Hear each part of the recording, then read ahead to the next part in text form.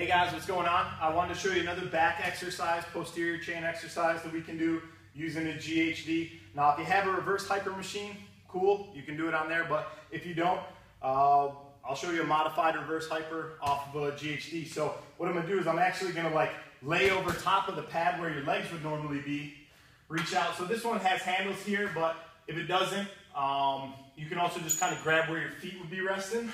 And then from here, just nice flat back, tension through your core.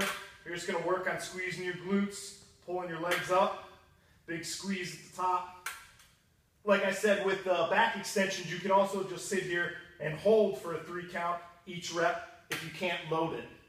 All right, so that's a modified GHD reverse hyper.